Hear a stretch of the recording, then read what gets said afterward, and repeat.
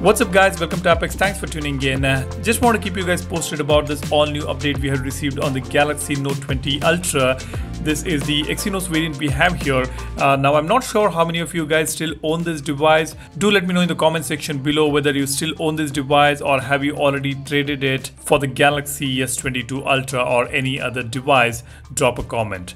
Now as far as this update is concerned, this is a pure security patch we have here. This is a security patch for September 2022 as you can see, the size is about 230.16 MB and in the change log, we don't see any new changes. So it is a typical security patch that we have with this all new update. Now this device is eligible for the One UI 5.0 based on Android 13. Currently the S22 series and S21 series are on the beta version of One UI and this phone is also expected to get the beta version very soon.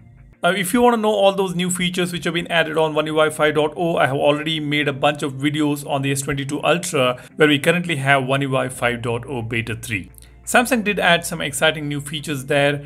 I will leave that video link in the description which talks about the beta 3 where Samsung enhanced the lock screen customization experience and also renamed the Bixby routines. Now the Bixby routine is called modes that is the new naming which Samsung has done. Not sure how many of you guys are aware of it. Now we will not have Bixby routines anymore, it will be modes. Now coming back to this device, it is running pretty smoothly. I don't see any issues whatsoever on this device so far. Now you let me know what do you think about this new update. If you haven't got the update yet, just go to the settings, tap on software update and here you can tap on download and install. You will be able to see the update if it is made available in your region. Now this variant I have here is Exynos.